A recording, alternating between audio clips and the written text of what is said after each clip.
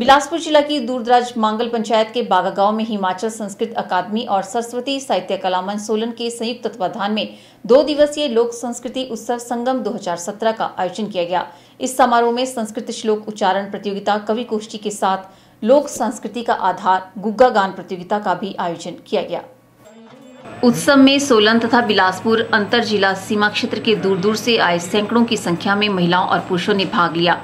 संस्कृत मंत्रोच्चारण प्रतियोगिता में करीब 10 विद्यार्थियों ने भाग लिया। इसी प्रकार गुग्गा गान प्रतियोगिता में मंडी, सोलन, बिलासपुर, हमीरपुर तथा सोलन की छह टीमों ने भाग लिया।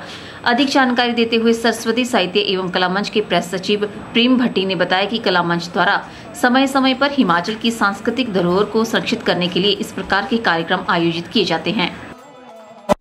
यहाँ जो स्थानीय सरस्वती साहित्य एवं कला मंच है इसके जो यहाँ अध्यक्ष हमारे मध्य में विराजमान है, इनके द्वारा ये जो प्रस्तुतिकरण यहाँ रखा गया और ये किया गया, मैं इनको विशेष रूप से सुरेंद्र भट्टी जी को और साथ प्रेम भट्टी जी के लिए बहुत बहुत शुभकामनाएँ और बधाई देता हूँ। मुझे ये कहते हुए बड़ा हर्ष हो रहा है कि यहाँ बहुत सारे लोग मांगल क्षेत्र के और साथ हमारे जो एल्ट्रा कारखाना है, इसके लोग भी यहाँ बैठे हैं। साथ हमारी बहनें, भाई और सभी यहाँ उपस्थित है। मैं प्रेम भट्टी सरस्वती सहायता कला मंच का प्रेस सचिव। हमने बागा में कार्यक्रम का आयोजन करवाया गया, संगम 2017 इसमें हमने पारंपरिक लोक गीतों के संरक्षण के लिए जो ये क्लब बनाया गया, इसमें हिमाचल की चार ज़िलों से लोग आए थे और गुग्गा जहार फिर मंडली का हमने इसमें गायन कराया गया।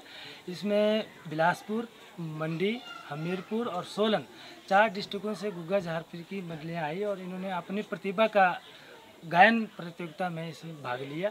इसमें हमारे चीफ गेस्ट श्री मस्तराम जी इसमें मौजूद रहे और बागा में सालूघाट मंदिर में ये कार्यक्रम कराया गया।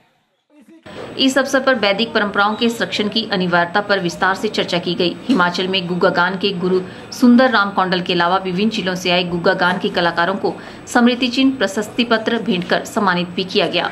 स्मृति चिन्ह प्रशस्ति पत्र भेंट कर सम्मानित भी किया गया। ब्यूरो रिपोर्ट, की